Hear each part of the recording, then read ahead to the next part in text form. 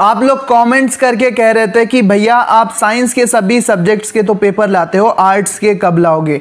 तो आर्ट्स के पेपर भी सभी के आने वाले हैं class eleven twelfth pre board board और हाफ़ ईयरली के सभी पेपर आने वाले हैं। तो इसी कड़ी में आज हम लोग अर्धवार्षिक परीक्षा 2023-24 का बिल्कुल लेटेस्ट समाजशास्त्र कक्षा 11 मतलब सोशियोलॉजी सोशियोलॉजी समाजशास्त्र कक्षा 11 का पेपर लाए हैं। बी है इसका कोड, सौ नंबर का पेपर है। समाजशास्त्र का ये पेपर समझेंगे कि कैसे प्रश्न आते हैं। इसको पूरा देखना, वीडियो को लास्ट तक देखना। सभी प्रश्न आपके इंपॉर्टेंट हैं हाफ़ ईयरली और ईयरली एग्ज़ाम के लिए। तीन घंटे पंद्रह मिनट, सौ नंबर का पेपर। प्रारंभ में पंद्रह मिनट पेपर को पढ़ने के लिए दिए गए हैं। सभी प्रश्न अनिवार्य अब यहाँ पर ध्यान से समझना आप। इसको ध्यान से समझना है बच्चों। प्रश्न संख्या एक से दस तक बहुविकल्पी हैं, जिनका केवल सही उत्तर अपना, अपनी उत्तर पुस्तिका में लिखना है। प्रश्न संख्या ग्यारह से अट्ठारह तक अति लघु हैं, जिनका उत्तर आपको पच्चीस शब्दों में देना है। प्रश्न संख्या उन्नीस से चौबीस तक लघु उत्तरीय हैं, जिनका पचास शब्दों में उत्तर देना है। पच्चीस से सत्ताईस तक दीर्घ उत्तरीय हैं, जिनका उत्तर डेढ़ सौ शब्दों में देना है। प्रश्नों के सामने उनके अंक दिए हुए हैं, लिखे हुए हैं। जैसे यहाँ पर ये एक नंबर का प्रश्न है तो लिखा हुआ है सामने। समाजशास्त्र किसका अध्ययन करना है करता है? क्या हो, अब ये बहुविकल्पी प्रश्न है, एक से दस तक देखो। क्या होना चाहिए, क्या नहीं होना चाहिए, उचित, अनुचित क्या है? आप बताइए, आप, आपको ये बताना है कमेंट में बताना है। बच्चों, ये पेपर अभी सॉल्व नहीं है पहले मैं आपको इस वीडियो में ये पूरा पेपर दिखाने वाला हूँ कि किस तरह के प्रश्न आते हैं। तो आप ये देखते चलेंगे, समाज की प्रकृति कैसी है? अमूर्त, मूर्त मूर्त और अमूर्त, दोनों ये समाज में ना तो मूर्त और ना अमूर्त। तो ये बहुविकल्पी प्रश्न है, बिल्कुल साधारण है, आपके सब्जेक्ट के अकॉर्डिंग आप इनको सॉल्व करेंगे। समाज सामाजिक संबंधों का जाल है, ये किसने कहा? जिन्सबर्ग ने या मैकाइवर और पेज ने, सोरोकिन ने या ग्रीन ने? इसका कॉमेंट बॉक्स में आप उत्तर ज़रूर बताना। समाजशास्त्र के जनक कौन है? कार्ल मॉक्स हैं कार्ल मार्क्स हैं या गुरिये या अगस्त कॉम्टे या दुर्खीम बेहद साधारण प्रश्न है ये, इसमें कुछ आपको नहीं करना होगा, आपको पढ़ाया ज़रूर गया होगा। समाजशास्त्र के जनक का जन्म किस सन में हुआ था?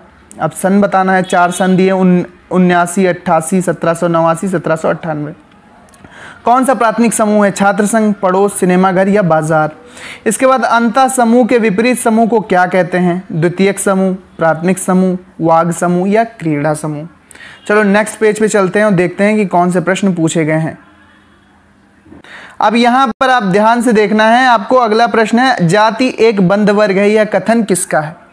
जाति एक बंद वर्ग है यह कथन किसका है? हॉथल का या चार्ल्स का या केतकर का या मजूमदार का? सामाजिक नियंत्रण का औपचारिक साधन क्या है? कानून, प्रथा, परंपरा या जन रीतियाँ औपचारिक साधन क्या है? ठीक है? औपचारिक क्या साधन है सामाजिक नियंत्रण का? तो कानून होना चाहिए, बाकी आपने पढ़ा है, आप इसको सही से करेंगे। बाकी सॉल्यूशन इसका हम लाएँगे, पूरे पेपर का सॉल्यूशन भी आएगा। कमेंट करो ज़्यादा से ज़्यादा कि आपको इस पूरे पेपर का सॉल्यूशन चाहिए। अगर इस वीडियो पर 1000 लाइक और 100 कमेंट होते हैं कि आपको इसका सॉल्यूशन चाहिए तो तुरंत आपको इसका सॉल्यूशन प्रोवाइड कराया जाएगा। सामाजिक परिस्थिति का प्रकार या स्वरूप कैसा है? प्रदत्त परिस्थिति, अर्जित परिस्थिति एक या दोनों या इनमें से कोई नहीं। अब अति लघु उत्तरीय प्रश्न है, जिनका उत्तर आपको 11 से 18 तक, जिनका उत्तर आपको 25 शब्दों में देना है। समाजशास्त्र की प्रमुख विशेषताएँ लिखो। समाजशास्त्र के जनक कौन थे? उन्होंने सर्वप्रथम इस शास्त्र को क्या नाम दिया था? समाजशास्त्र की एक परिभाषा लिख दीजिए। समाज में सहयोग एवं संघर्ष दोनों पाए जाते हैं। ये चीज़ आपको स्पष्ट करनी है कि समाज में संघर्ष और सहयोग दोनों पाए जाते हैं। विज्ञान के प्रमुख तत्व बताइए कि विज्ञान के प्रमुख तत्व कौन से हैं? सामाजिक समूह से क्या मतलब होता है? सामाजिक समूह का क्या आशय है? जाति तथा वर्ग में दो अंतर बताइए कि जाति क्या है और वर्ग क्या है। इसमें दो अंतर आप इस तरह से डिवाइड करके लिखेंगे। इसके बाद अंत समूह से क्या आशय है? हर एक प्रश्न यहाँ पर 11 से 18 तक तीन नंबर का है।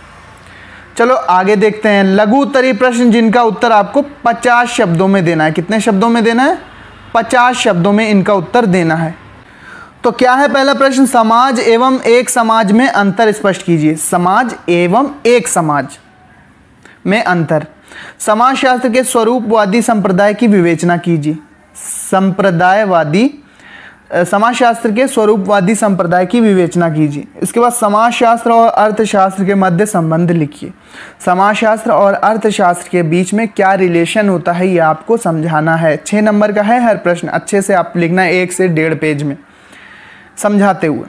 प्राथमिक समूह किसे कहते हैं? हर एक प्रश्न को नए पेज से चालू करना तो ज़्यादा अच्छा रहेगा, क्योंकि पचास पचास शब्दों में ये प्रश्न का उत्तर देना है, अच्छे से आप देना हेडिंग वेडिंग डाल के। समाजशास्त्र और अर्थशास्त्र के बीच संबंध लिखना है, प्राथमिक समूह किसे कहते हैं? इसके बाद अगला प्रश्न कहता है कि जाति की प्रमुख विशेषताएँ बताइए। जाति एवं वर्ग क्या होता है? इसमें अंतर बताइए कि जाति और वर्ग में। देखिए, छोटा भी एक प्रश्न पूछा गया जाति और वर्ग में अंतर, और एक बड़ा प्रश्न भी पूछा गया है, जाति और वर्ग में अंतर। तो जाति और वर्ग के बारे में ज़रूर ज़रूर पढ़ना है। अब ये विस्तृत उत्तरीय प्रश्न है, जिनका उत्तर आपको डेढ़ सौ शब्दों में देना है। पहला, समाज किसे कहते हैं? इसकी विशेषताएँ लिखिए। हाफ़ ईयरली पेपर है, बिल्कुल आपके सिलेबस के अकॉर्डिंग हाफ़ ईयरली के काबिल ही ये क्वेश्चन पेपर है। तो सबसे पहले समाज शास्त्र में समाज के बारे में ही पढ़ाया जाता तो समाज किसे कहते हैं? इसकी विशेषताएँ लिखिए, दस नंबर का प्रश्न है। नहीं आता अगर ये प्रश्न तो समाज के स्तरीकरण की प्रमुख विशेषताएँ बताइए कि समाज के स्तरीकरण की क्या क्या विशेषताएँ होती हैं। प्राथमिक समूह का अर्थ स्पष्ट कीजिए तथा परिभाषा निर्धारित कीजिए। प्राथमिक समूह का अर्थ स्पष्ट कीजिए तथा परिभाषा निर्धारित कीजिए। प्राथमिक समूह की मुख्य विशेषताओं का उल्लेख कीजिए। प्राथमिक समूह की मुख्य विशेषताओं का उल्लेख कीजिए। प्राथमिक समूह की मुख्य विशेषताओं का उल्लेख कीजिए। नहीं आता ये वाला? छब्बीसवा प्रश्न नहीं आता तो अथवा में एक विकल्प है, आप ये वाला भी कर सकते हो। कौन सा सामाजिक वर्ग का अर्थ क्या है? उसकी परिभाषाएँ, उनकी प्रमुख विशेषताओं का उल्लेख कीजिए। सामाजिक वर्ग का अर्थ परिभाषाएँ और उनकी प्रमुख विशेषताओं का उल्लेख करो।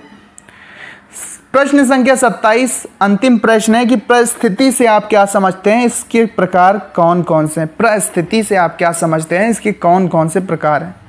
अब परिस्थिति के बारे में नहीं आता तो औपचारिक और अनौपचारिक सामाजिक नियंत्रण किसे कहते हैं? इनमें अंतर स्पष्ट करते हुए प्रमुख साधनों का उल्लेख कीजिए कि सामाजिक नियंत्रण के औपचारिक साधन कौन से हैं? अनौपचारिक साधन कौन से हैं? इनका जो साधन है, औपचारिक और अनौपचारिक, इनका उल्लेख करना तो कुल तीन प्रश्न दस नंबर के दिए छः हैं, क्योंकि हर एक प्रश्न अथवा में। छः प्रश्न हैं, लेकिन करना तीन है। एक एक विकल्प दिया गया है, जिससे आप सही से सॉल्व कर पाओ। तीस नंबर के ये प्रश्न बनेंगे लॉन्ग वाले। बाकी यहाँ पर छः प्रश्न छः नंबर के हैं जिनका उत्तर आपको पचास शब्दों में देना है। और बाकी आठ प्रश्न आपको देखने को मिले जिनका आपको तीन नंबर वाले प्रश्न हैं, ये तीन जिनका पच्चीस शब्दों में उत्तर देना है। और बाकी दस बहुविकल्पीय प्रश्न हैं जिनमें एक विकल्प छांट कर आपको अपनी कॉपी में लिखना है, सही विकल्प चुनकर। तो काफ़ी साधारण और सिंपल पेपर है। अच्छे से आप सॉल्व कर सकते हैं। इसका पीडीएफ आपको टेलीग्राम चैनल पर मिलेगा। टेलीग्राम चैनल का लिंक डिस्क्रिप्शन में बाकी सभी आर्ट्स सब्जेक्ट के भी पेपर आते रहेंगे यहाँ पर। साइंस के तो आ चुके हैं लगभग, बाकी जिनके बचे हैं वो भी आ जाएँगे। Half yearly yearly pre board और बोर्ड के एग्ज़ाम की तैयारी के लिए जुड़े रहो एग्ज़ाम से एम यूट्यूब चैनल के साथ। यहाँ पर आपको टिप्स, ट्रिक्स ट्यूटोरियल सभी कुछ लगातार मिलता रहेगा। सो थैंक्स फॉर वॉचिंग मिलते हैं अपने नेक्स्ट वीडियो में। टिल देन अच्छा सा कॉमेंट ज़रूर लिखना। Thank you and bye bye